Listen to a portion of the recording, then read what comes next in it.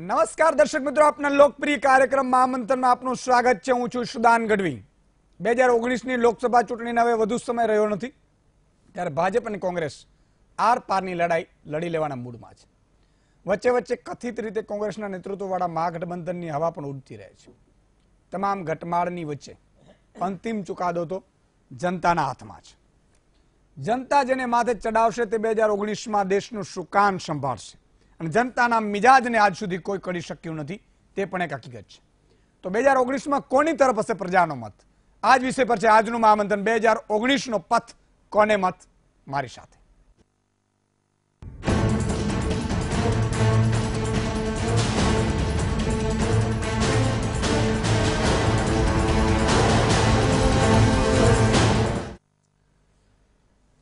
લોકસભાની ચૂંટણીને લઈને કોંગ્રેસે અત્યારથી જ કવાયત હાથ ધરી દીધી છે. ત્યારે ખેડા જિલ્લાના ડાકોરમાં કોંગ્રેસની લોકસભા ચૂંટણી માટે પ્રશિક્ષણ શિબિરનો પ્રારંભ થયો.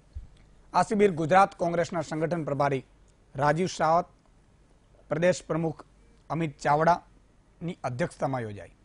જેમાં ધારાસભ્યો પૂર્વ સાંસદોની હાજરી જોવા મળી. આ શિબિરનો હેતુ છે લોકસભા ચૂંટણી માટે રણનીતિ ઘડવી અને દરેક જિલ્લામાંથી પાંચસો લોકોને તાલીમ આપવામાં આવશે. ખાસ વાત એ છે કે પ્રોજેક્ટની શરૂઆત ગુજરાતથી થઈ છે. ખેડા જિલ્લા કોંગ્રેસ સમિતિ દ્વારા જિલ્લા કક્ષાની તાલીમનું આયોજન કરવામાં આવ્યું છે. જિલ્લા કક્ષાના તમામ હોદ્દેદારો, ચૂંટાયેલા પ્રતિનિધિઓ બે દિવસની તાલીમ લેશે અને જે વિષયો નક્કી કરવામાં આવ્યા છે, દેશની સાંપ્રત પરિસ્થિતિ, કોંગ્રેસની વિચારધારા, ભારતીય જનતા પાર્ટીની નિષ્ફળતાઓ, સંગઠનને કઈ રીતે વિસ્તારી શકાય, વધુ લોકોને કઈ રીતે જોડી શકાય યુવાઓ મહિલાઓ સાથે સંવાદ સ્થાપિત કરવાનું અને સાથે સાથે social media media platform, Shakti project ને બાકીના જે તમામ એવા પ્લેટફોર્મ કે જેનીથી વધુ ઝડપથી લોકો સાથે જોડાઈ શકાય એવા વિષયોની બે દિવસ તાલીમ આપવામાં આવશે. પેટ્રોલ ડીઝલમાં વધેલા ભાવને લઈને કોંગ્રેસે ગઈકાલે ભારત બંધનું એલાન જાહેર કર્યું હતું, જેને વિપક્ષની તમામ પાર્ટીઓએ સંપૂર્ણ ટેકો જાહેર કર્યો હતો. કોંગ્રેસના આરોપોનો ભાજપ સરકારે આજે જાહેર મંચ પર જવાબ આપતા જણાવ્યું છે કે જૂની સરકારોએ દેશના માત્ર ભાગલા પાડવાનું જ કામ કર્યું છે અને ભાજપની સરકારે દેશમાં બન્યા બાદ વિશ્વમાં ભારતની નોંધ મોટા પાયે લેવાય છે. મુખ્યમંત્રી વિજય રૂપાણીએ વધુમાં શું કહ્યું છે, આવો તે પણ જાણીએ. વચ્ચે વિગ્રહ કરવા સવર્ણો અને અન્ય સમાજોને સાથે અથડાવવા.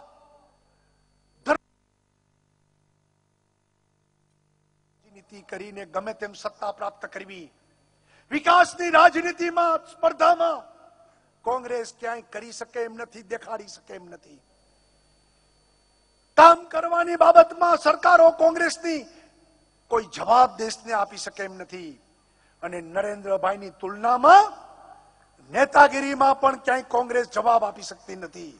ભારત માતા પરમ વૈભવના શિખર પ્રાપ્ત કરે અને આવનારા દિવસોમાં આપણી જે કલ્પના છે, અયોધ્યા મેં રામ, યુવાનો કો કામ, કિસાનો કો સહી દામ મહેંગાઈ પે લગામ, હટા દો ભ્રષ્ટાચારી બદનામ. આ સૂત્રોને સાકાર કરીને આપણે સૌ આવનારા દિવસોમાં ભારતમાં સત્તા બને, એને કોઈ રોકી ન શકે. જેટલું જેને કરવું એ કરે. દિવાલ ઉપર લખાઈ ગયું છે, બે હજાર ચૌદમાં સીટો નથી મળી. એથી વધારે સીટો બે હજાર ઓગણીસમાં ભારતીય જનતા પાર્ટી જીતીને આવનારા દિવસોમાં ભાજપ આગળ વધશે. અયોધ્યામાં રામ કિસાનો કો શહીદામ અને રોજવાર રોજ, રોજગારોને કામ. આવો સૂત્ર નવો આવ્યો છે, વિજયભાઈએ સારી વાત કરી છે. મિત્રો, આજે જે ચર્ચા કરવી છે આપણે મહામંથનમાં એ ચર્ચા કંઈક એવી કરવી છે કે મહાપિતામહ તમે છો. આ દેશના માલિક તમે છો. પણ માત્ર માત્ર, હા, જો કાકા બરોબર બોલ્યા, માત્ર મત આપવા પૂરતું. બરોબર છે. જમી લીધું કે નહીં? બાકી છે? તો એક કલાક સુધી હવે જમવાનું નથી પાછું. બધું ગોઠવાઈ જવાનું છે. છેલ્લે ટાઈમ મળ્યો એટલે ફોન લાઈન પણ ખોલીશું.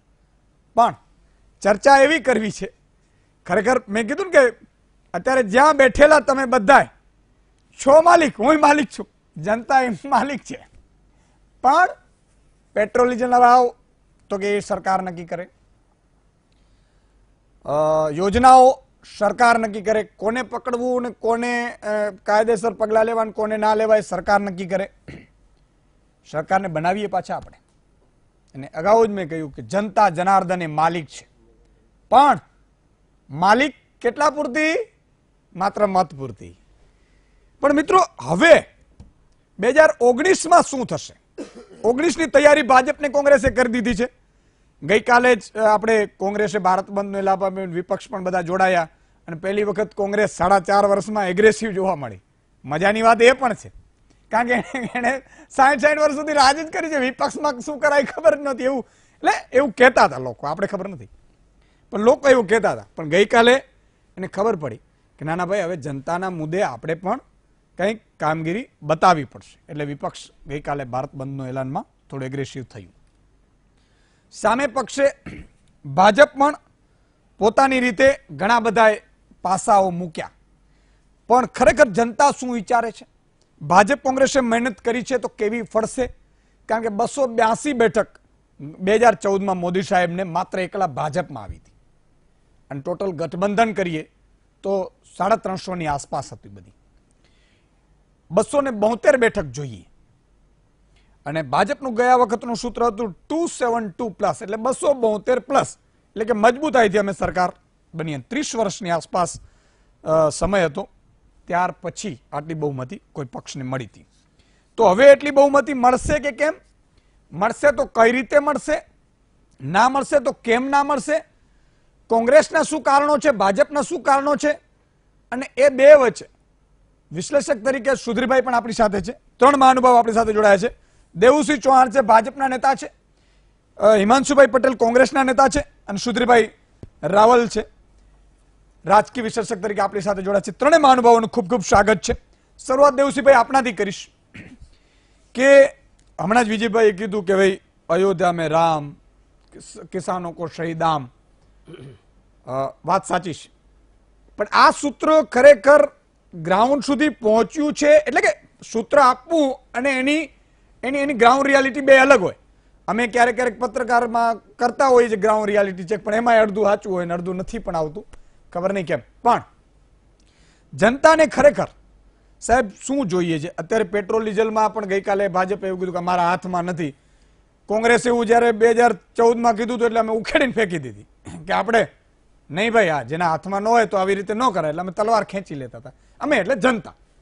હું એ પત્રકાર તરીકે નથી કહેતો, પણ જનતાની સાથે છું એટલે મારાથી બોલાઈ જાય છે જનતાનો અવાજ. પણ હવે બે હજાર ઓગણીસમાં શું ચિત્ર રહેશે? વિજયભાઈ કીધું કે એનાથી વધારે એટલે બસો બોતેર પ્લસ બસો બ્યાસી આવી હતી. બ્યાસી બસો બ્યાસીથી પણ વધારેની વાત છે. તો કઈ રીતે આવશે? એનું આયોજન શું છે? અને જનતા કેટલી સુખી છે?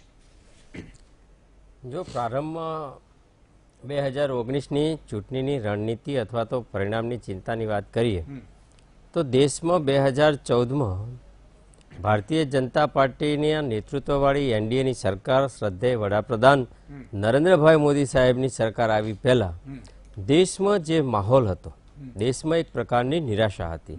દેશમાં હતાશા હતી પોલિસી પેરાલિસિસ હતું અનિર્ણાયકતા હતી અને ભયંકર ભ્રષ્ટાચારમાં આ દેશ ડૂબાયેલો હતો. એવા સમયે આજે સાડા ચાર વર્ષના અંતે શ્રદ્ધેય નરેન્દ્રભાઈ મોદી સાહેબનું નેતૃત્વ જે હવે વૈશ્વિક નેતૃત્વ બનીને રહ્યું છે, એવું એમનું નેતૃત્વ અમે સાફ નિયતથી કરેલા કાર્ય અને આવનારા સમયમાં અમારી રણનીતિ જે પ્રકારે બે હજાર વીસ પછી આ એક ન્યૂ ઇન્ડિયા, નવા ભારતની કલ્પના સાથે અમે બે હજાર ઓગણીસની ચૂંટણીમાં પરિણામ મેળવ્યા પછી આ દેશમાં જે પ્રકારે ઇન્ફ્રાસ્ટ્રક્ચરની સગવડ ઊભી થઈ. ગરીબ કલ્યાણની યોજનાઓ ગરીબના ઘર સુધી, એના હકનું, એના આંગણા સુધી પહોંચાડ્યું અને ડાયરેક્ટ બેનિફિટ ટ્રાન્સફર દ્વારા સોએ સો ટકા એના હકનું પહોંચાડ્યું. દેશ માટે જે પ્રકારે એક વિઝનરી લીડર હિન્દુસ્તાનના ઇતિહાસમાં ત્રણ વખત એક સફળ મુખ્યમંત્રી તરીકે પોતાનો કાર્યકાળ પૂરા કર્યા પછી દેશમાં વડાપ્રધાન બન્યા હોય એવી પહેલી ઘટના છે. એટલે એમનો બહ- બહોળો અનુભવ. એક સક્સેસફુલ ચીફ મિનિસ્ટર જ્યારે દેશના પ્રધાનમંત્રી બને છે ત્યારે એ દેશમાં જે પ્રકારે ટ્રાન્સપરન્સી લાવ્યા છે, દેશમાં રિફોર્મ્સ લાવ્યા છે. એમ પણ કહી શકાય કે લોકોને ગમે એવા નહીં, પણ લોકોના હિતમાં કરવા માટેના નિર્ણયો હિંમતપૂર્વક કર્યા છે. મારો ઈશારો તમે સમજી શકો છો. પણ લોકોના હિતમાં હતા એટલે એમણે કર્યા છે. એ ચાર વર્ષની કાર્યકાળના અંતે લોકો સમક્ષ અમે કરેલા કામોને લઈને જવાના છીએ. અમારા નેતા શ્રદ્ધેય વડાપ્રધાન નરેન્દ્રભાઈ મોદી સાહેબ, કે જેમની લીડરશિપ વિઝનરી લીડરશિપ આજે દુનિયા સ્વીકારે છે. એવા નરેન્દ્રભાઈ મોદી સાહેબના નેતાગીરીના અને અમે કરેલા કામના આધારે બે હજાર ઓગણીસની ચૂંટણીમાં અમે જે બસો બ્યાસીનું લક્ષ્ય હતું એને પણ એકલા હાથે ભારતીય જનતા પાર્ટી ક્રોસ કરીને બેઠકો મેળવવાની છે. પૂછી લઉં તમને કારણ કે પેટા પ્રશ્ન મને ઈચ્છા થઈ પૂછવાની. મને ઘણા બધા જનતાને ત્યાંથી પૂછવાની હોય એટલે મને એવું ભાસ થાય. જીડીપી ડાઉન ગયું છે. રૂપિયો રૂપિયો. ઘટ્યો છે પેટ્રોલ ડીઝલ વધ્યું છે રોજગારી મળી નથી તો સક્સેસ કઈ રીતે કહેવાય સાંભળો. જીડીપી ડાઉન નથી. જીડીપી ડાઉન થયું છે આ ક્વાર્ટરના આગળના બે ક્વાર્ટર્સમાં અને સંભવિત હતું આપણે જ્યારે જીએસટી કે ડિમોનેટાઇઝેશન જેવા નિર્ણયો કર્યા. જ્યારે આ દેશમાં જીએસટી જેવા નિર્ણયો કર્યા ત્યારે એને અને આપણું મન ખુલ્લું હતું. આપણે સમય અનુકાળ એમાં સુધારા કરતા ગયા. અને ક્વાર્ટર્સ નીચે જવાનું જ હતું. આજે એટ પોઈન્ટ ટુ જીડીપી. એટલે કે અત્યાર સુધીમાં હાઈએસ્ટ જે વાજપેયી સાહેબની સરકારમાં એટ પોઈન્ટ સેવન હતો. એ બે દિશામાં આગળ વધીએ છે ઇન્ટરનેશનલ ઇન્ટરનેશનલ જે ઇકોનોમિક ઇન્સ્ટિટ્યૂટો છે આઈએમએફ કે મૂડીઝ જેવી એમણે પણ કહ્યું છે આજે ભારત છઠ્ઠા નંબરની અર્થવ્યવસ્થા છે. અને આ જ રીતે ગતિ ચાલી તો બે હજાર વર્ષમાં ભારત બ્રિટનને પાછળ પાડીને ભારત પાંચમા નંબરની અર્થવ્યવસ્થા બનવાની છે. રહી વાત પેટ્રોલ ડીઝલની વાત.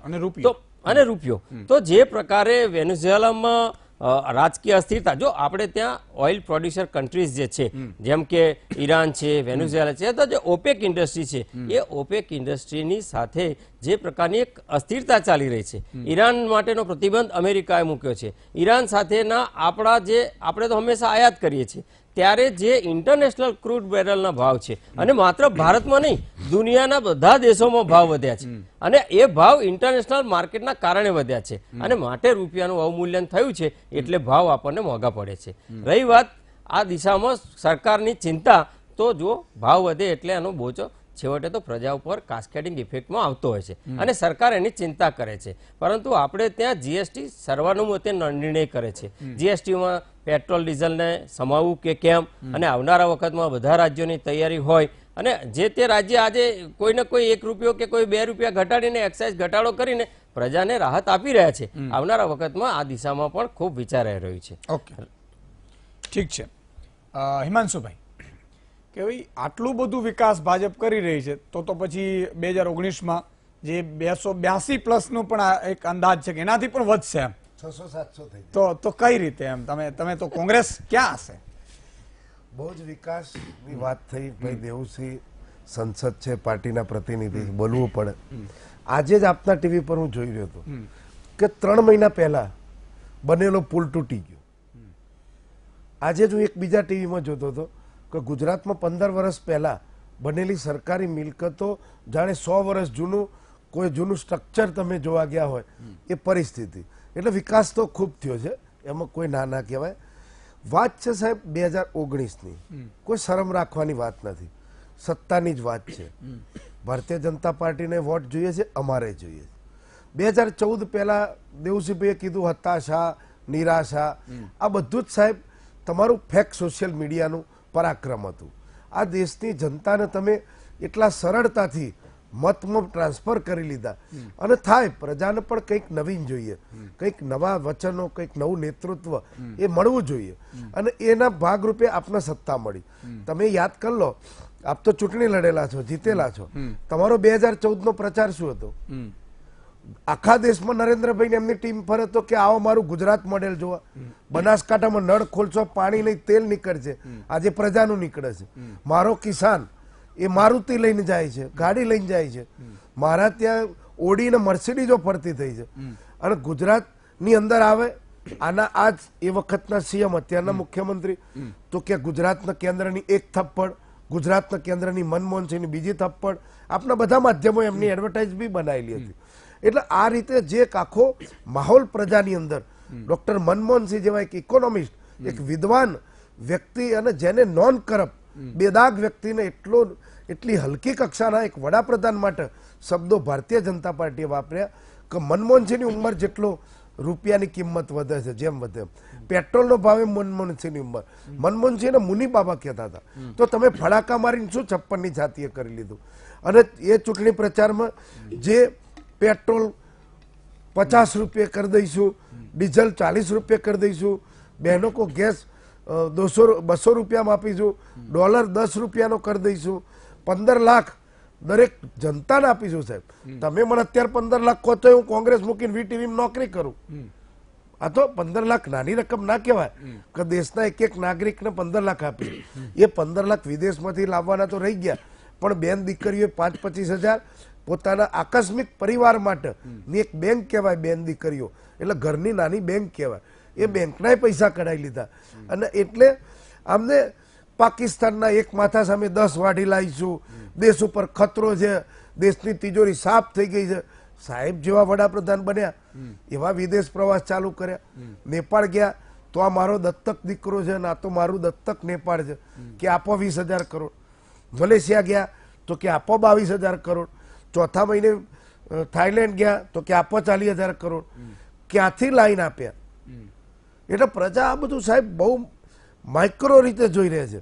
અને જે વાત કરી હતી રામ મંદિરની, ત્રણસો સિત્તેરની, પંડિતોના પુનઃવસવાટની, એ વાત કાશ્મીરની મૂકી પીડીપી સાથે ગઠબંધન કરી દીધું. સોનમર્ગ ને ગુલમર્ગમાં પાર્ટીઓ કરી. એટલે જે આખી દેશની જનતાએ જોયું કે વચનો આપવા તો આજે અમે આપી શકીએ. કે પચાસ લાખ આપીશું. આ કરીશું. પણ ના કોંગ્રેસ આઝાદીથી અત્યાર સુધીમાં નરેન્દ્રભાઈ જેવા ચાર અકસ્માત થયા છે. પહેલો અકસ્માત નથી. એ પહેલા વીપીસી અમારા જ પાર્ટીના કોંગ્રેસ સામે પડ્યા હતા રાજા નહીં ફકીર હું દેશ કી તકદીર હું. પ્રજાએ કીધું કાપો કોક સારો માણસ છે. સાહેબ અઢી વર્ષમાં બંધ થઈ ગયું. એવી રીતે મોરારજી દેસાઈની સરકાર હતી. એમના જ વાજપેયીજી એનડીએ ટુ નતા બનાવી શક્યા. એટલે સાહેબ બોલવું વાતો કરવી ઉશ્કેરવા લોકોને મત લેવા લોકોના યુવાનોના માથા વઢાઈ નાખવા એ ભારતીય જનતા પાર્ટીનો મેનિફેસ્ટો અમારી પાર્ટી સાહેબ એ બેરલનો ભાવ પેટ્રોલ ડીઝલનો. જે તે વખતે એકસો ચાલીસ ડોલર હતો. ત્યારે ડોક્ટર મનમોહનસિંહની સરકાર એ સિત્તેર રૂપિયા પેટ્રોલ હાલતી હતી. આજે સિત્તેર રૂપિયાનું બેરલ છે. ત્રીસ રૂપિયા જઈ આવ્યું હતું ડોલરનું. આજે સિત્તેર થયો. તો એસી રૂપિયા ભાવ લે છે. નોટબંધી કરીને સો લોકોને લાઈનમાં મારી નાખ્યા. અને છેલ્લા આરબીઆઈ એમ કે છે કે બધું કશો ફેરફાર નહીં થયો. એમની જ સરકાર અને એમની જ આરબીઆઈ કે જીએસટીમાં કોંગ્રેસના મળવા આવ્યા એમના નેતાઓ. અમને મદદ કરો. આપણા સારો કાયદો છે, તમારો કાયદો છે. કોંગ્રેસે સમર્થન આપ્યું કે હાઈએસ્ટ જીએસટી અઢાર ટકા રહેવો જોઈએ. એની જગ્યાએ આડત્રીસ ટકા, અઠ્યાવીસ ટકાનો જીએસટી મૂકી દીધો. સત્તા કે અમે તો અમારી કેડર બેઝ પાર્ટી છે. અમે તો સંગઠનથી આગળ આવીએ છીએ. સાહેબ બે સીટો એક રાજ્યમાં એમની આવી હોય કોંગ્રેસની અઢાર આવી હોય. તો ખરીદ વેચાણ કરીને સરકારો બનાવી. એક બે મિનિટ સાહેબ. આ બધું જે જીએસટી નોટબંધી ખરીદ વેચાણ ગુજરાતની રાજ્યસભાથી ચાલુ કરીને આજે પણ કોંગ્રેસની તાલુકા જિલ્લા પંચાયતના સભ્યોને પૈસાથી ધમકીથી બીકથી આ લોકો જોયું સાહેબ. ખેડૂતના દેવા નાબૂદીની વાત કરીએ તો દેવુસિંહભાઈ બધા બૂમો પાડી કે કોંગ્રેસ નથી આપતી. મનમોહનસિંહે બધા ખેડૂતોના દેવા નાબૂદ કર્યા હતા. આજે અમારી બે સરકારો છે. પંજાબ અને કર્ણાટક. બંને જગ્યાએ સરકાર આવી એના પહેલા દિવસે બંને રાજ્યોની અંદર જે કુદરતી આપત્તિના લીધે ખેડૂતોને તકલીફ ઊભી થઈ છે. ત્યાં ખેડૂતોના દાવા નાબૂદ કરે. આજે રાજસ્થાનમાં ચૂંટણી આવી ભાજપની તો એમને ત્યાં વેટ બે ટકા ઘટાડી પેટ્રોલ ડીઝલ ઘટાડી દીધો. ગુજરાતમાં એમને તકલીફ પડે છે. કારણ કે ચૂંટણી નથી. ચૂંટણી વિધાનસભાની હતી ત્યારે પંદર દિવસ ઘટાડ્યો હતા. એટલે આ બધું લોકો જોઈ રહ્યા છે ઓકે. સુધીરભાઈ હવે આ આ- આ ભલે ભાજપ કોંગ્રેસ તો પોતપોતાનું મત કારણ કે ડ્યુટી તો બધાય નિભાવવાની હોય. પણ હકીકત શું છે? પિક્ચર છે એ કેવું જનતા છે આમ આદમી હોય નાનો વેપારી હોય ઉદ્યોગપતિ હોય શું વિચારી રહ્યો છે? અને કદાચ ચૂંટે તો શું કામ ફરીથી ના ચૂંટે તો શું કામ ના ચૂંટે આપણો દેશ ને આપણી સંસ્કૃતિ છે ને બહુ વિવિધ વર્ગોની, વિવિધ ભાષાની, વિવિધ પ્રદેશોની અંદર જુદી જુદી રીતે આખી બની છે, આખો મોટો ભારત દેશ છે. એટલે એની લોક અપેક્ષાઓની દ્રષ્ટિએ આપણે જોઈએ તો એમાં જુદી જુદી હોય. દાખલા તમે કીધું કે લોકોની અપેક્ષા શું? તો એ કોર્પોરેટ વર્ગ હશે તો એની આખી અપેક્ષા જુદી હશે. કોઈ ગરીબની અલગ હશે મધ્યમ વર્ગ હશે તો એની અલગ હશે. એટલે અપેક્ષાઓની દ્રષ્ટિએ બી જુદી જુદી હશે. વિચારધારાઓ આપણે ત્યાં જુદી જુદી દિશાઓમાં ચાલે છે. શાસનની અંદર શું છે કે જ્યારે તમે આવો ત્યારે સુશાસન કોને કહેવાય? તો સુશાસનની અંદર એ જે એવું ગુડ ગવર્નન્સ આપે કે જેમાં પારદર્શિતાની બધા શબ્દો એ તો વાત સાચી. પણ લોકોને જ્યારે ચૂંટણી આવે ને ત્યારે અનુભૂતિના સ્તરે લોકો ખાસ મારી દ્રષ્ટિએ મૂલ્યાંકન કરતા હોય છે. એટલે તમે બોલો ઘણીવાર વાતાવરણ હમણાં હિમાંશુભાઈ કીધું કે એવું બહુ સારું સારું બોલીને બોલીને મત લઈ ગયા. તો વાતાવરણ બનીને થયું હોય અથવા તો ભારતીય જનતા પક્ષ ઘણી વખત સારું કામ કરતી હોય એની ન સમજાવી શકે. નરસિંહરાવની સરકારમાં એવું થયું ખૂબ સારું કામ કર્યું પણ નરસિંહરાવ એ વાત નહીં જ કરી શકે તો એની સરકાર હારી ગઈ હતી. એટલે લોકો પરસેપ્શનનો એના પર પ્રભાવ તો ચોક્કસ હોય છે. તમે કીધું શું હોવું જોઈએ? તો હું આંકડાની દ્રષ્ટિએ વાત કરું. માનું કે અત્યારે બર્નિંગ ઇસ્યુ છે એ બહુ આંકડાઓ મારી પાસે તો હું ખાલી બે ચાર જ વાત કરીશ કે પેટ્રોલ ડીઝલના ભાવ અત્યારે જબરજસ્ત એને આંદોલન થયું કાલે. બરાબર છે? એક વસ્તુ પહેલા કહી દઈએ કે દાખલા કે કોઈ પણ પ્રકારે બંધના એલાન હોય તો એમાં હિંસા તોડફોડ એને તો સ્થાન નથી. પણ આપણે આ બધું શરૂ થયું છે ઓગણીસો ચુમ્મોતેર પછી. એટલે છેલ્લા ચાલીસ પિસ્તાલીસ વર્ષમાં જે તે કોઈ એક પક્ષને જવાબદાર ઠેરવી શકે એમ નથી. પણ પેટ્રોલ ડીઝલના ભાવની વાતની વાસ્તવિકતા શું છે? મતલબ કેન્દ્ર સરકારે કીધું કે ભાઈ આ અમારા અંકુશમાં નથી. એટલે એનો મતલબ અમે જવાબદાર નથી. ત્રણ ચાર બાબતો લઈએ. અને એમાં કોઈ રાજકીય વાત ન કરીએ. કે શું હતું? માનો કે સોળમી મે આપણે જનાદેશ આવ્યો ભારતીય જનતા પક્ષ જીતી છવ્વીસમી મે નરેન્દ્રભાઈની નવી સરકાર આવી. તો હવે એ દિવસે શું પરિસ્થિતિ? હું તમને ખાલી થોડાક આંકડાઓ બહુ છે પણ હું તમને ટૂંકમાં કહું. કે એક તો ત્યારથી લઈને જ્યારથી મોદી સરકાર જ્યારથી એનડીએ સરકાર એટલે નવી સરકાર આવી છે ત્યારથી આ બાર વખત central excise duty petrol diesel પર વધી છે. પેટ્રોલની અંદર બસો અગિયાર ટકા અને ડીઝલ ઉપર ચારસો તેત્રીસ ટકાનો વધારો થયો છે. આ એક હું આંકડા કહું છું આ ભારત સરકારના આંકડા બરાબર? આમાં કોઈ ચેન્જ ન હોય બિલકુલ. બીજું વર્ષે વર્ષે જો અને આના કારણે કેન્દ્ર સરકારે લોકોના ખિસ્સામાંથી અગિયાર લાખ કરોડ જેટલા રૂપિયા ફેરવી લીધા છે. એના વર્ષવાર આંકડા જોઈએ દાખલા તો પહેલા વર્ષે હતા એક લાખ બોતેર હજાર પાસઠ કરોડ, બીજા વર્ષમાં બે લાખ ત્રેપન હજાર છસો પંદર કરોડ, ત્રીજા વર્ષમાં હતા ત્રણ લાખ ચોત્રીસ હજાર પાંચસો ચોત્રીસ કરોડ અને ચોથા વર્ષમાં ત્રણ લાખ તેતાલીસ હજાર આઠસો અઠ્ઠાવન કરોડ. હવે આ એક વાત થઈ. એટલે એ વસ્તુ સેન્ટ્રલ ફેક્ટરી હવે પાછો એની સાથે સરકારોનો ટેક્સ છે. રાજ્ય સરકારનું વેટનું જે છે જીએસટીમાં હજી નથી કવર કર્યું. એટલે વેટના એના તો એટલા બધા આંકડા છે કે લગભગ એવરેજ ભાજપ શાસિત પ્રદેશ રાજ્ય અને કોંગ્રેસ સાથે. બધામાં એવરેજ પચીસ ટકાથી વધારે એ લોકો વેટ લે છે. હવે એક ઇસ્યુ શા માટે જીએસટી ને એમાં કવર નથી થતું એના માટે કોઈ સરકાર જવાબદાર નથી. ત્રીજું આપણે ત્યાં મોટા ભાગે એવી ચર્ચા થાય છે કે કાચા માલ કાચું તેલ જેને ક્રૂડ ઓઇલ કહે આંતરરાષ્ટ્રીય બજારમાં ક્રૂડ ઓઇલના ભાવ એ આપણા અંકુશમાં નથી ને એના કારણે એનો પ્રભાવ વધતો છે. બરાબર છે? હું જનતાની સમસ્યા ઉપર આ વાત લાવવા માંગુ છું. તો ક્રૂડ ઓઇલના ભાવોની અંદર ત્યારે આ તારીખવાર મારી પાસે જે આંકડા છે એમાં તે જ્યારે સત્તારૂઢ થઈ નવી સરકાર ત્યારે ક્રૂડ ઓઇલના ભાવ યુએસ ડોલરની અંદર એકસો સાત પોઈન્ટ ઝીરો નવ યુએસ ડોલર પ્રતિ બેરલ હતા. અને જે આજે તોતેર યુએસ ડોલર પ્રતિ બેરલ સુધીનો છે. અને આંતરરાષ્ટ્રીય બજારમાં ક્રૂડ ઓઇલ જે છે ને એમાં ચાલીસ ટકા જેટલો ઘટાડો થયો છે. એટલે બાવન મહિના દરમિયાન કાચા તેલનો ભાવ સરેરાશ પચાસ ટકા ઘટ્યો છે જે યુપીએ સરકાર કરતા પંચાવન ટકા છે. મારું કહેવાનું એટલું છે કે એ પણ આ કારણ ન હોઈ શકે. હવે ચોથી વાત એ દાખલા તરીકે એ કે તમે જીએસટી ની અંદર એ બધું કરે કેરોસીનમાં પણ એ પ્રોબ્લેમ છે વધે એટલે ભાવ વધ્યા છે એ હકીકત છે.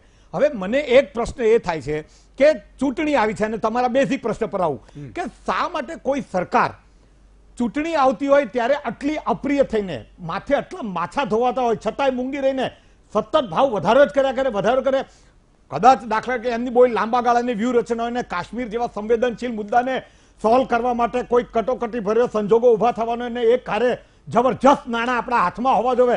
એવી કોઈ બાબત હોય તોય ભલે પણ આ પ્રશ્ન એવો છે કે દાખલા તરીકે તમે જે જનહિતને સ્પર્શે છે તો એની અંદર તમારી લોકનિષ્ઠા કરતા કાર્યદક્ષતાની કુને તો હોવી જરૂરી છે જરૂરી છે. કારણ કે છેવટે તો જનજીવન જે છે એને આ સમસ્યાઓ કેટલી સ્પર્શે છે એની સરકારની કર્તવ્ય બને છે. એટલે તમે એને એવું ન કરી શકો કે માણસ મરી જાય ત્યાં સુધી પણ અમારી તો સેવા છે અમે તમને બેસો કરવાના છીએ.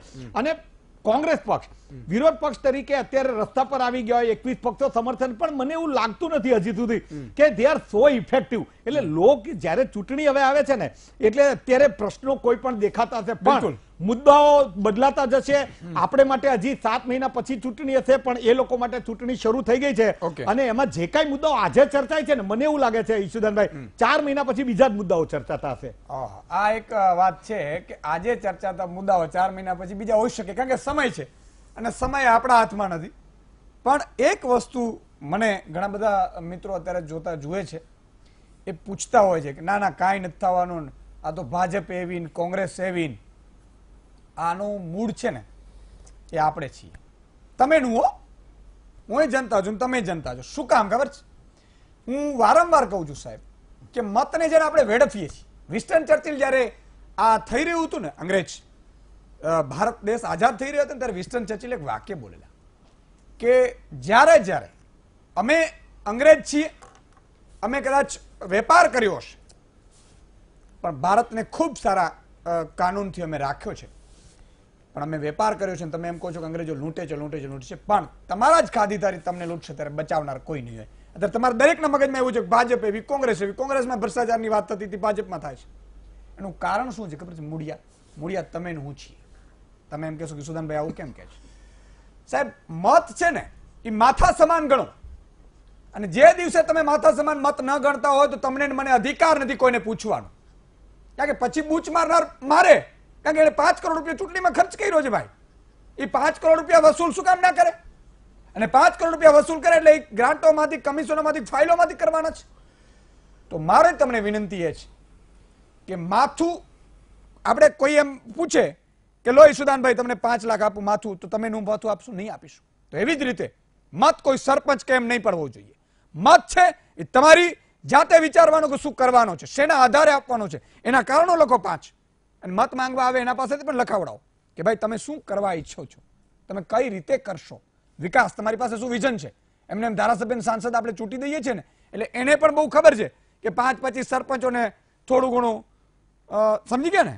ભાઈ મારે બહુ નથી કેવું એટલે એ મલાઈ, એટલે એમ, એટલે ભાઈ કરી દેશે, ગોઠવી દે. એમ નહીં ભાઈ. અને મત આપવા જવાનું સાહેબ, સો ટકા મત પડવું જોઈએ. જો તમે એનું મત ના આપીએ તો તમને મને પૂછવાનો કોઈને અધિકાર નથી. મત સો ટકા પડવું જોઈએ. લોકશાહી છે, આઝાદ દેશ છે. અને મત ન પડે. સિત્તેર ટકા મત પાડવા માટે, મત પડવા માટે આપણે ફાફા પડી જાય.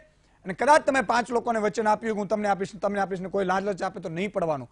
લાલચ તમે રૂપિયાની લીધી અને પછી તમે મત ખરીદાય અને તમે આપતા હો સાહેબ, તો તમને મને કોઈ અધિકાર નથી. દેશ લૂંટાય તો લૂંટાવા દેવાનું. કારણ કે આપણે પહેલે ભ્રષ્ટાચારી છીએ. અને આપણે પ્રામાણિક બનવું પડશે. આપણે આપણા સંતાનોને સોગંદ ખાઈને મત આપવું પડશે કે હું મારા સંતાનની સોગંદ ખાઈને મત આપું છું. હું એક પણ રૂપિયો જો જે વ્યક્તિ, ઈમાનદાર વ્યક્તિ એક પણ રૂપિયો ખર્ચ વિના ચૂંટાઈને જશે સાહેબ, એ તમારી મારી એવી સેવા કરશે કે રાતને દિવસ ઊભો હશે. એ સાંસદની પાંચ કરોડની ગ્રાન્ટ છે એ સારી જગ્યાએ વપરાશે. દોઢ કરોડની ધારાસભ્યની ગ્રાન્ટ સારી જગ્યાએ વપરાશે. પણ એના માટે તમારે મારે જમીર જગાડવાનું છે. વિરામ બાદ આવી છે. ફોન લાઈન પર ખોલીશું. આપનો મત પણ જાણીશું. વિરામ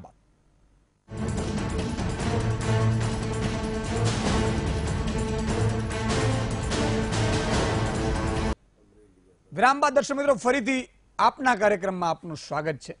હું એકાદ કોલરને દર્શક મિત્રને લઈશ પણ સભ્યતાથી. અને બીજું કે ત્રણેય મહાનુભાવો જે છે એ આપણા માથાના સરતાજ છે.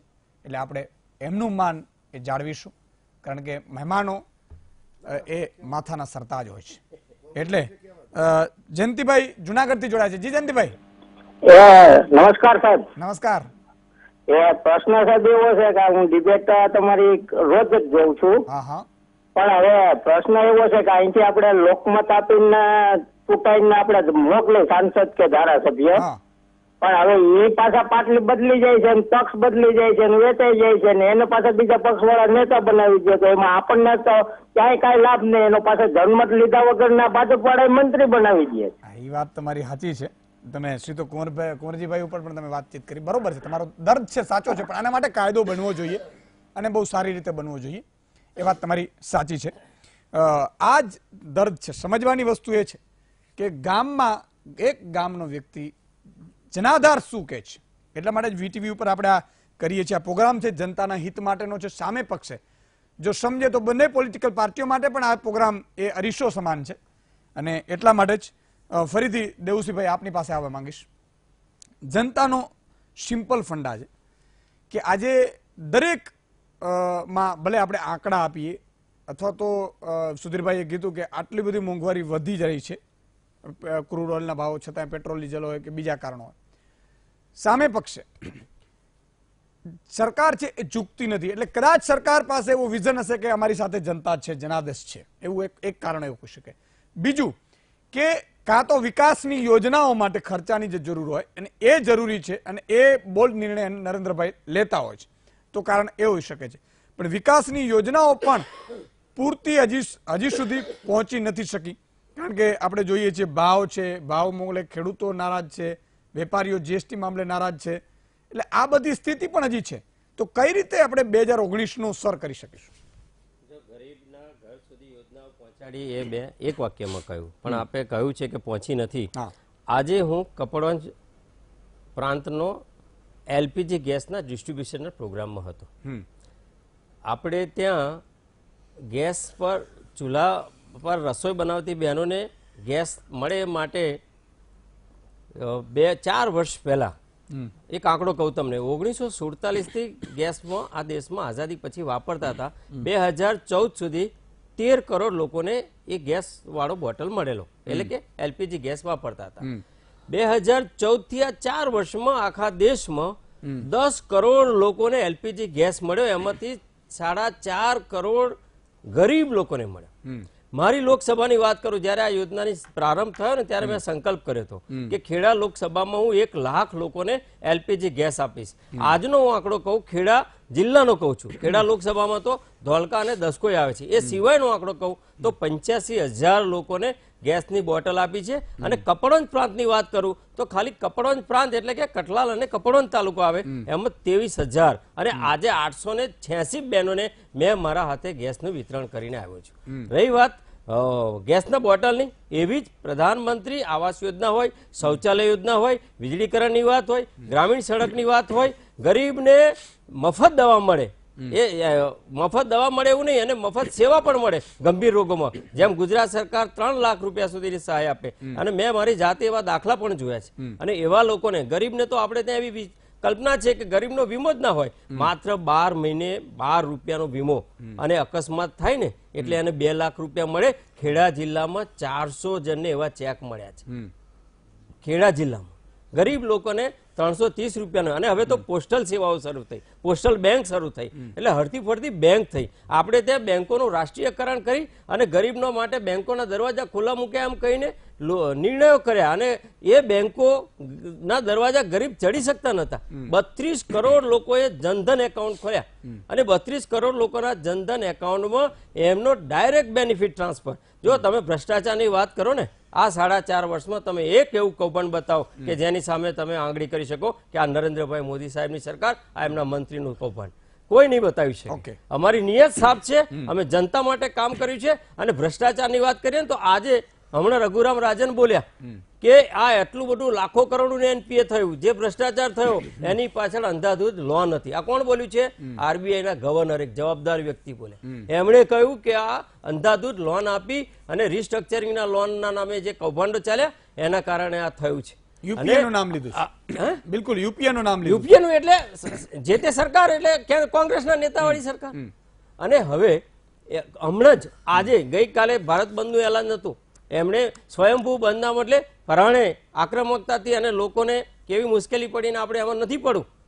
એક નાની બાળકીની જાન પણ ગઈ છે. પણ એવી બધી વાતો કરવા નથી. પણ એવા લોકો કે જે લોકો માત્ર ને માત્ર પરિવારનો એમનું નેશનલ હેરાનનું કૌભાંડ આવ્યું. નેશનલ હેરાનમાં પાંચ હજાર કરોડથી વધારે કૌભાંડમાં મેડમ સોનિયાજી અને રાહુલજી જામીન પર છે. એમના બહેન અને એમના જમાઈજી પણ. હવે એ જે વાત છે એમાં કેવું મોટું કૌભાંડ થયું? એટલે નેવું? પચાસ લાખમાં એક કંપની બનાવી young India East India company આ દેશને યંગ ઇન્ડિયાએ ત્રણસો. કરોડ ઇન્કમ ટેક્સ ચૂક્યો નથી. કોર્ટે નોટિસ આપી. સાડા ત્રણ વર્ષમાં ચુમ્માલીસ વખત નોટિસ આપી. પણ આ દેશના શાહજાદા જયારે કહેવાય ને પરિવારવાદનું એક ચક્રી શાસન ચાલતું હતું કોઈ એમને પૂછતું નતું એટલે આ મશીનરીનો દુરુપયોગ તમને હજી વિશ્વાસ છે કે બહુ સારી રીતે વિશ્વાસ નહીં અમને દેશની જનતા ઉપર જનતા ઉપર જે જનતાએ અમારા પર ભરોસો મૂકીને મત આપ્યા છે એ જનતા ફરીથી ચૂંટશે. બિલકુલ હિમાંશુભાઈ જનતા ઉપર વિશ્વાસ છે અને તમારે તમે જે એગ્રેસિવ ભલે થયા હો ભારત બંધમાં થોડા ઘણી તકલીફો ઉપર પડી પણ હજુ પણ એ સ્થિતિ તમે જે કહી રહ્યા છો એવી નહીં થઈ શકે. એવું માનવું છે મને જનતા પર ભરોસો છે. એમનો ભગવાન ઉપર ભરોસો. જનતા ઉપર કીધું. એ તો ટીવી માં એવું બોલો છો. તમારા કામ પર ભરોસો છે કામ પર. જનતા પર ગયો અને અમારા કરેલા કામ પર. આક્ષેપ કરે છે. આક્ષેપ કરી શકે. હું વાત એ કરવા બોલો, માંગુ છું કે ચોક્કસ તમે ભલે જનતાનું નામ લો છો શબ્દોમાં તો સારા બોલો જ છો તમે. પણ તમારો જે મેનિફેસ્ટો જે ભગવાન છે. તમારા ચૂંટણીમાં તો તમે કંઈક કરવાના નહીં કર્યું નથી ને. કરવાના નથી. તમારા માટે ભગવાન એક સહારો છે. એક સસ્તી બધાની લાગણીઓ ઉશ્કેરવા. હિન્દુ મુસ્લિમ ધર્મ ધર્મ પટેલ ઠાકોર છે? હું કહું એક એક ગુજરાત છે છું. છે? આપના ગુજરાતને તમે યાદ કર્યું એક સંસદ તરીકે. એટલે ખૂબ ખૂબ અભિનંદન પહેલા તો. કે તમે ગુજરાતની ચિંતા કરી. તમે બહુ સરસ બધી વાતો કરી. દેવસિંહભાઈ તમે કપડવંજ એલપીજીનું જે કાર્યક્રમ કરીને આવ્યા એ એલપીજી નો બાટલો ત્રણસો ઇઠ્યાસી રૂપિયા મનમોહનસિંહ મળતો હતો. રેગ્યુલર ગ્રાહક આજે આઠસો બે રૂપિયા કેટલા લોકો વાપરતા પછી કેજો નહીં, મારે વાત પતે એટલે. કારણ કે તમે વિદ્વાન છો. હું સામાન્ય માણસ છું. એટલે કારણ કે ભાજપ વાળા હાલો વિદ્વાન હાલો હાલો ભાઈ ટાઈમ તમારો જ જાય. એટલે ટાઈમ તો સાહેબ થોડો મિનિટો ગણીને બેઠો એટલે આ જે એલપીજી ની વાત છે સાહેબ જે કનેક્શન ગૃહિણીઓને આપવા છે ગરીબોને એ ભારત સરકારની જે કોંગ્રેસે બનાવેલી જે નફો કરતી કંપનીઓના દબાણ પ્રેશરથી એ કનેક્શનો આપવામાં આવે. પણ સારું કામ છે. તમે સાથે ખેડૂતોની ચિંતા કરી હોત તો ગુજરાતમાંથી અઢારસો કરોડનો પાક વીમો લો છો. તમે તો સંસદ સભ્ય છો એક આખા સાત વિધાનસભાના. તમે મને પાંચ નામ આપો તમારા વિસ્તારમાં કે કોઈને પચીસ લાખ કે પાંચ લાખ કે પચાસ હજાર બી કોઈ ખેડૂતનો પાક વીમા ના મળ્યા હોય. એક મિનિટ સાહેબ આપ કહેજો ને તમને સમય આપશે તમે લખી રાખો. તમારા તમારી સરકારે ખેડૂતનું યુરિયા સાહેબ કેટલા કિલોની બેગ આવે સાહેબ? તમે તો ખેડૂતના દીકરા છો. કેટલા કિલોની યુરિયાની બેગ હોય? કેટલા બાર કિલોની આવે ના સાહેબ પચાસ કિલો પચાસ કેટલા કિલો. કિલોની આવે પચાસ. કિલો. પચાસ કિલોની બેગ નાના છોકરાને પૂછવાનું સાહેબ સાહેબે કીધું. સાહેબ અમને પિસ્તાલીસ કિલોની કરી દીધી. પાંચ કિલો યુરિયા એક બેગે ચોરી લે છે. ખોટું નથી બોલતો. કેસ કરી દેજો. મારી વાત સાંભળો. સાહેબ લોકોની નજર ઓછી પડે. સાહેબ ટ્રેક્ટર ઉપર પણ ટેક્સ લેનારી આ એક સરકાર છે. બરાબર છે? અને મફતમાં ખેડૂતો દંડા ખાય. આ એમનું ખેડૂત કલ્યાણ યોજના. પાક વીમો ટ્રેક્ટર યુરિયા બીજું ખેડૂતને શું જોઈએ? નોટ તો એ બદલી નતા શક્યા ખેડૂતો.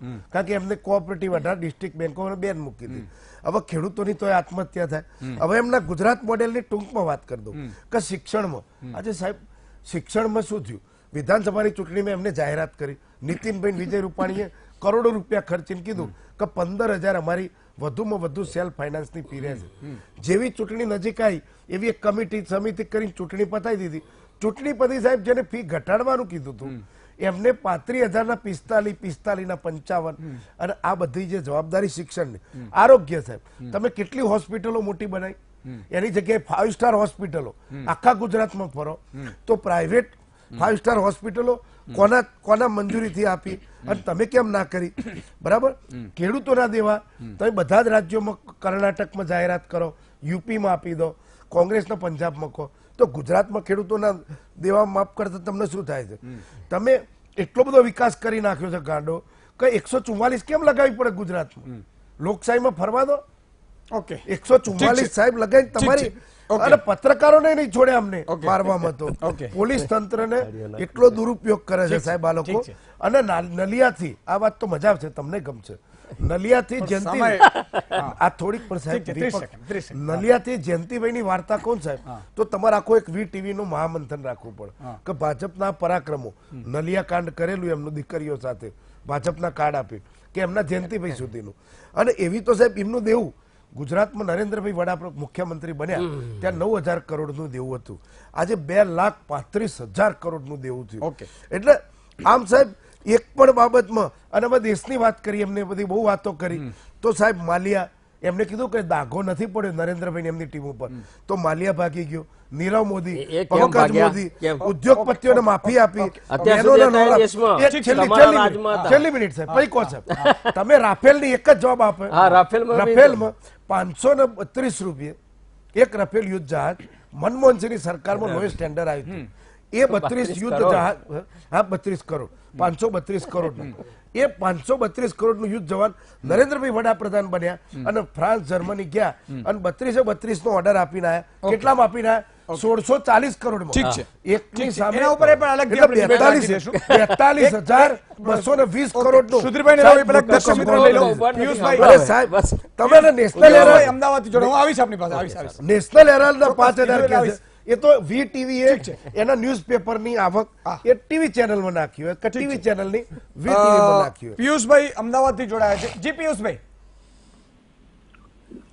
જય જય માતાજી સુદાન જય માતાજી જય માતાજી બોલો બોલો. હવે મારા હિમાંશુભાઈને એક ક્વેશ્ચન કરવો છે.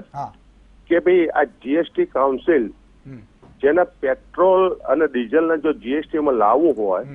તો જે એનું કોઈ બંધારણમાં જે ચેન્જ કર્યા છે એ હું તમને બતાવું. કે જીએસટી કાઉન્સિલમાં વન થર્ડ વોટનું વેટેજ છે સેન્ટ્રલ ગવર્મેન્ટ માટે. કેટલું? તેત્રીસ ટકા. અને દરેક બાકીનું છાસઠ ટકા બધા સ્ટેટોની વચ્ચે એટલે દરેક સ્ટેટને ઓલમોસ્ટ બે ટકા મળે. બરોબર?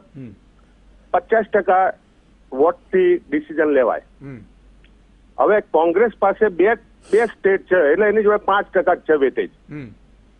તો એ શું કરવા ઉભારો નથી કરતી જીએસટી માં લાવવા.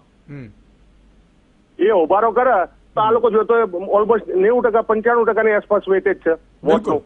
વાત સાચી છે. તમારી વાત સાચી છે મને પૂછી છે. એટલે આ લોકો આ લોકોએ ઉભારો કરવો જોઈએ. તાત્કાલિક હવે આવી માંગ શકે. કરવી જોઈએ જીએસટી ભારત ભારત અને બીજી વાત બીજી વાત. દેવસી દેવસો દેવસીભાઈ માટે મારે વાત કરવી છે. આ ઉજ્જવલા યોજનામાં બાર કરોડ કે પંદર કરોડ કે જેટલા કરોડ તમે ગેસ ગેસની જે આપી વાત અરે તમે સોળસો રૂપિયા ગેસ કનેક્શન આપ્યા છે. સોળસો રૂપિયા લોકોની સબસિડી તમે ખાધી. લોકો જતી કરી મફત માલવા માટે હતા. સોળસો રૂપિયામાં તો દોઢસો બસો રૂપિયાની એક સગડી આપી છે તમે. બસો રૂપિયાની સગડી આપી બાકી બાટલો તો એમે ડિપોઝિટ ઉપર હોય સરકાર ડિપોઝિટ ઉપર વર્ષોથી આપે. અને સગડીઓ સોળસો રૂપિયા સલાહ લીધા એ લોકોએ. સોળસો રૂપિયા લઈને લોકો? છેતર્યા.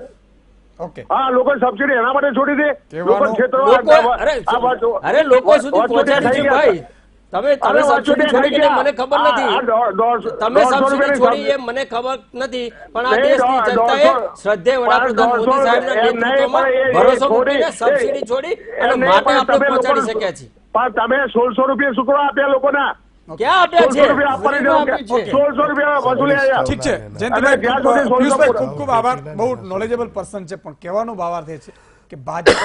બંને ઉપર આ એક અ, વસ્તુ થઈ રહી છે. સુધીરભાઈ.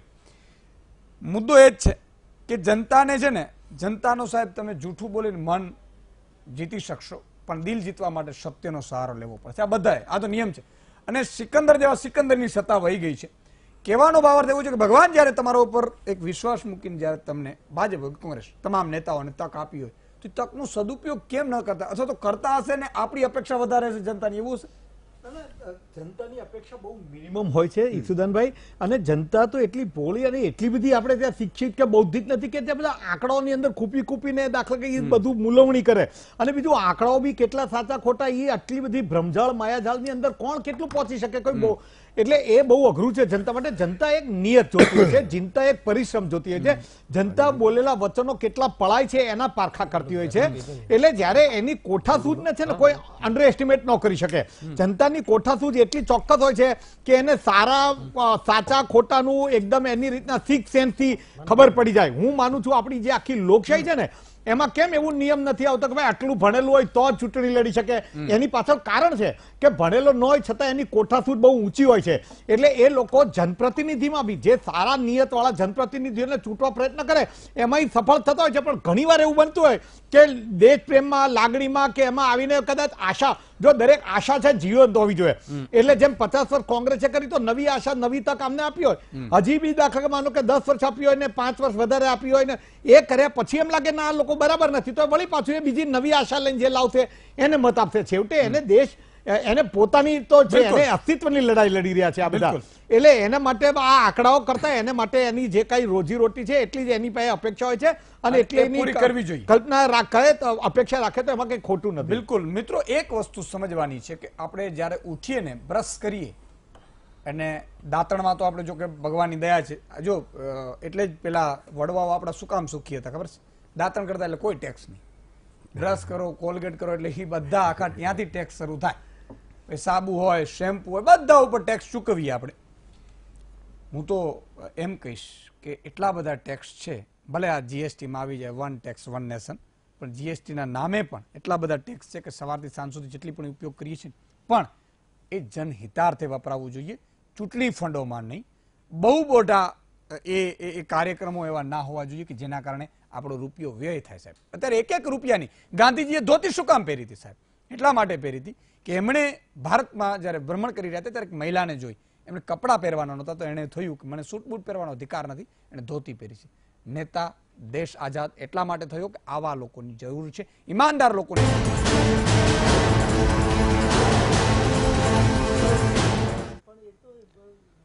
વિરામ બાદ દર્શક મિત્રો, ફરીથી આપનું સ્વાગત છે. આપણે ચર્ચા કરી રહ્યા છીએ ખૂબ અગત્યની એટલા માટે ચર્ચા કે દરેક ચર્ચામાં હું મહામંથનનો પ્રયાસ કરતો હોઉં છું કે જનતાનો હિત જનતાની સમસ્યા જનતાને વાચા મળે એવું કંઈક આપણે વાડી વાડીને પણ હું એ મુદ્દો લઈ લઉં છું.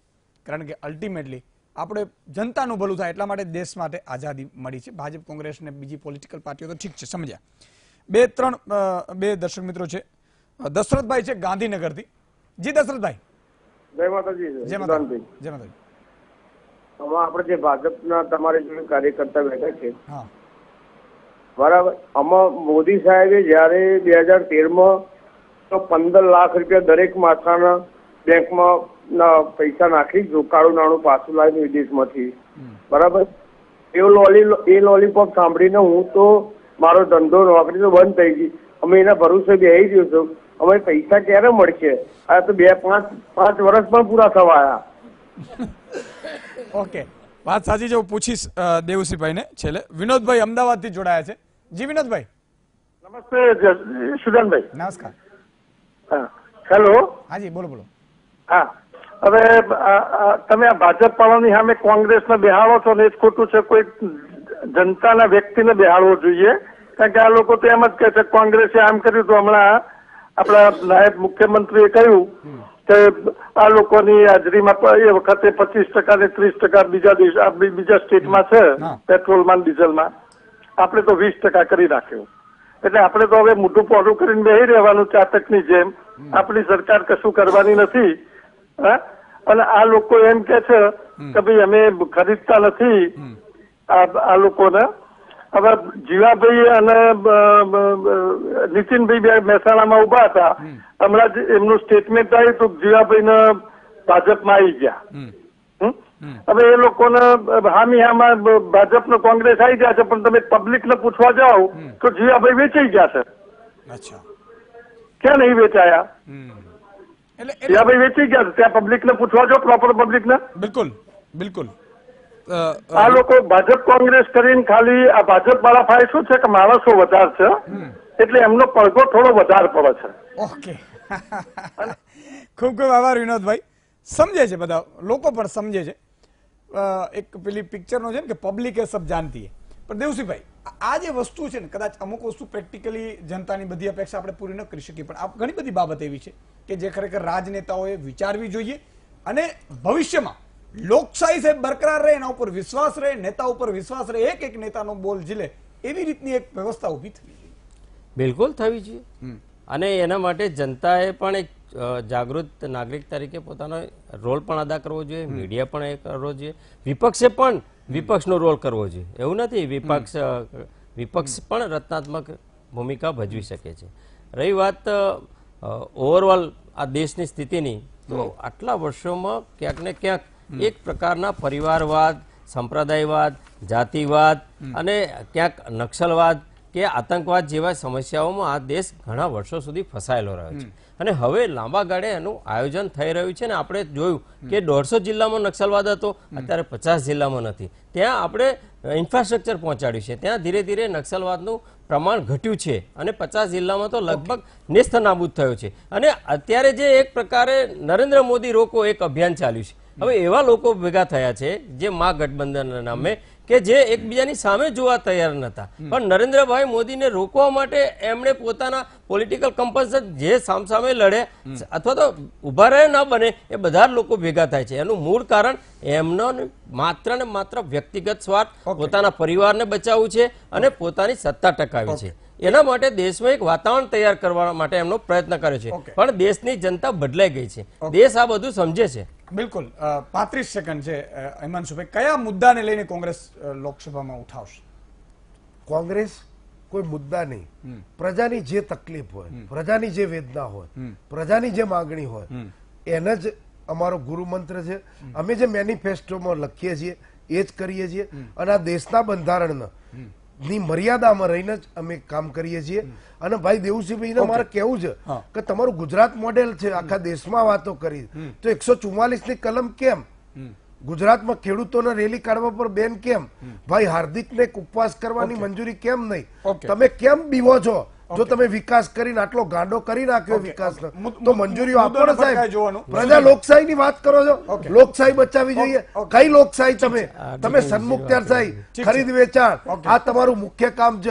અને રહી જાય તો. ધર્મ અને સમાજના નામે મત લેવાનો તમારો ભરોસો છે. તમે પ્રજા નહીં ભગવાન મુદ્દાઓ લોકસભામાં ભાજપ કોંગ્રેસ રાખે કદાચ. આજની તારીખે કહીએ તો બહુ વહેલું છે સુદાનભાઈ કહેવા ખાતર તો અત્યારે સુશાસન વિકાસ અને સલામતી એવા બધા મુદ્દાઓ છે પણ મને એવું લાગે છે કે પરિણામ આગળ જતા રાજકીય વળાકો એવા આવશે કે જે બિલકુલ અનપેક્ષિત મુદ્દાઓ ઉભરી આવશે જે લગભગ લોકોના હૃદય મનને કઈ રીતના હાવી થવાનું એવા કોઈ ઇમોશનલ મુદ્દા આવશે અને એના ઉપર જ આખી ચૂંટણી લડાશે. પણ અત્યારે કેવું બહુ વહેલું છે. ઓકે. સમયનો અભાવ છે. એટલે હિમાંશુભાઈ દેવુસિંહભાઈ સુધરીભાઈ અને જે દર્શક મિત્ર જોડાયા અને ઘણા મિત્રો કે જેમનો ફોન નથી લાગ્યો, મને ખબર છે મિત્ર. કારણ કે એક સાથે હજાર હજાર ફોન થતા હોય છે, લાખો લોકો આપણા દર્શકો છે. એટલે નથી પણ લાગતો. પણ નિરાશ નહીં થવાનું. આજે નહીં તો કાલે લાગશે.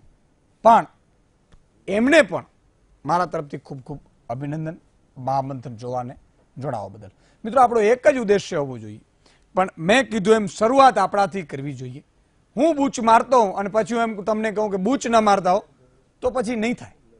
જો બૂચ આપણાથી બંધ કરીએ અને પછી સામેવાળો શું કરે છે એને નહીં કરવાનું. એ નહીં જોવાનું. આપણે શું સારું કરી શકીએ છીએ? આપણે શું આપી શકીએ છીએ સમાજને? આપણે શું જનતાને આપી શકીએ? શું આપણે પાડોશીને આપી શકીએ છીએ સાહેબ? એ બહુ જરૂરી છે. અને જ્યારે આ વસ્તુ આપણામાં આવશે ને સાહેબ, કર્મનો સિદ્ધાંત એ આપણે હંમેશા ધ્યાનમાં રાખવાનું. કારણ કે તો જ તમે સારું કર્યું છે. તમે બૂચ મારીને પછી ભગવાનના મંદિરમાં જાઓ પછી એમ કહો ભગવાન મને આ વધારે લેવડાવી દો. તો ભગવાન તમને શું કહેવાનું છે? ભાઈ, પેલા પેલાની બૂચ મારી આવ્યો છે મારો દીકરો છે. સંતાન તો એનો જ છે ને. કહેવાનો ભાવાર્થ કે આપણે જ્યારે ચૂંટણી આવે ને, ત્યારે ખનખનિયામાં નથી પડવાનું. ઘણા તો અગાઉથી ગોઠવી લે કે ભાઈ, કયું શું આપવાનું છે? મને પચાસ વોટ પડ્યા છે. બસ તે દિવસ આ બદલાશે ને ત્યારે ભારત બદલાશે. બાકી આપણે બૂચ મારીશું એનું તો ઈ ઉપરનો બૂચ મારશે અને અલ્ટિમેટલી આપણા જ ખિસ્સામાંથી જશે. ભાવાર્થ એટલો જ છે કે આપણે પ્રામાણિક બનીએ સારા લોકોને લાવીએ આગળ, સારા વ્યક્તિઓને ચૂંટીએ એ બહુ જરૂરી છે. આજે બસ આટલો જ. ફરીથી આવતીકાલે મળીશું. ત્યાં સુધી